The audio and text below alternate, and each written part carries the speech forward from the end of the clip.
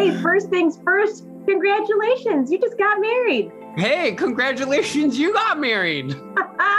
Finally, today, it is always great to catch up with Josh Rice, the man who breathes life into the New York State Puppet Festival, which begins this evening in our hometown of Perry, down in Wyoming County. Head to the Puppet Festival site, and you'll instantly be greeted with a warning to prepare for something unusual.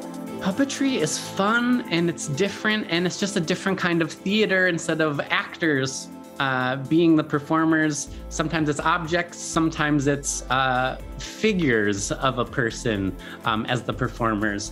But it's just this whole world of theater uh, that is just a little bit different from what you might think about when you first hear puppetry. And you might go to Kermit, who is an amazing and incredible puppet but there's this whole breadth and scope of puppetry that we're excited to uh, introduce and reintroduce audiences to over the course of the next 10 days. The shows are intriguing, the performers world class, including a fifth generation Japanese puppet master. And he's performing in a show called Shank's Mare, which is kind of a blend of traditional Japanese puppetry and live movie making.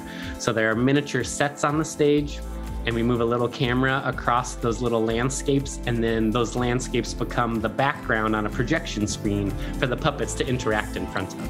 So it's like live movie making in a certain way with this incredible Japanese virtuosic puppeteer. Another show draws inspiration from professional wrestling. You'll also see puppets that are bigger than life, created by the longtime puppeteers of Bread and Puppet Theater. There are even workshops where you can learn to make your own paper mache You can find the full list of shows and activities on NewYorkStatePuppetFestival.com. And Josh and Company are making sure this unique event is accessible to everyone, with some free or pay what you can events. It's also, if we can shamelessly plug our hometown, a lively weekend to visit Perry.